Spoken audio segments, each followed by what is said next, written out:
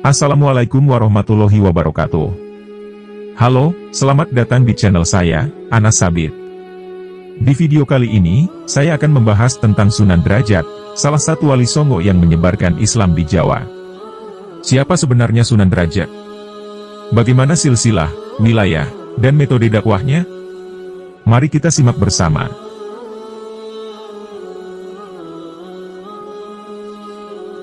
Sunan Derajat memiliki nama asli Raden Syarifuddin atau Raden Kasim.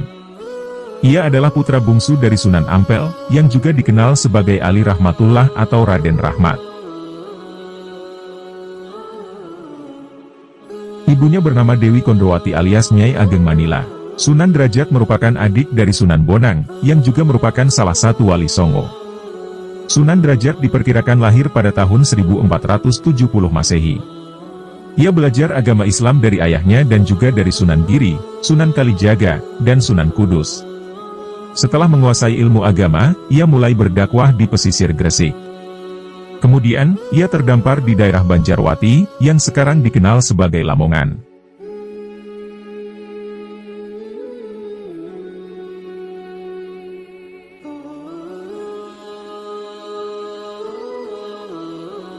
Di sana, ia mendirikan pesantren di Desa Derajat, yang masuk ke dalam wilayah Paciran, Kabupaten Lamongan.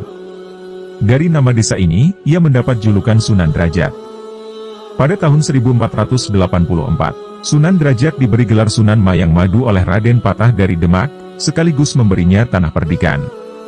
Tanah perdikan adalah tanah yang bebas dari pajak dan campur tangan penguasa. Dengan demikian, Sunan Derajat memiliki otonomi untuk mengatur wilayahnya sendiri. Sunan Derajat dikenal sebagai sosok yang berjiwa sosial dan peduli dengan nasib kaum fakir miskin. Ia berusaha menciptakan kesejahteraan dan kemakmuran bagi warganya dengan mengajarkan etos kerja keras dan kedermawanan.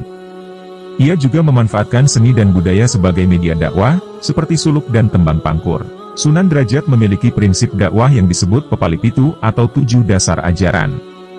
Prinsip ini terdiri dari Membangun resep tiasing sasoma, yang artinya kita selalu membuat senang hati orang lain. Jroning suka kudu eling lan waspada, yang artinya di dalam suasana riang kita harus tetap ingat dan waspada. Laksmitaning subrata tanyipta marang pringgabayaning lampah, yang artinya dalam perjalanan untuk mencapai cita-cita luhur kita tidak peduli dengan segala bentuk rintangan. Meper hardaning pancadria, yang artinya kita harus selalu menekan gelora nafsu-nafsu. Heneng, hening, Hanung, yang artinya dalam keadaan diam kita akan memperoleh keheningan dan dalam keadaan hening itulah kita akan mencapai cita-cita luhur. Nuruk tanpa bala, menang tanpa ngasorake, with means we hold fict without tropes, win without humiliating others. Sugih tanpa banda, with means we hold be rich without possessions.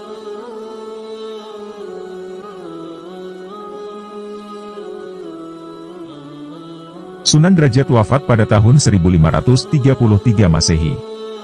Makamnya terletak di sebuah bukit di Desa Derajat, Kecamatan Paciran, Kabupaten Lamongan, Provinsi Jawa Timur. Makamnya menjadi tempat ziarah bagi banyak orang yang menghormati jasa-jasanya. Semoga bermanfaat dan menambah wawasan kita. Jika Anda suka dengan video ini, silakan like, komen, dan subscribe channel YouTube Anas Sabit. Dan bagikan video ini, agar orang lain juga tahu apa yang kita tahu. Terima kasih dan sampai jumpa di video selanjutnya. Wassalam.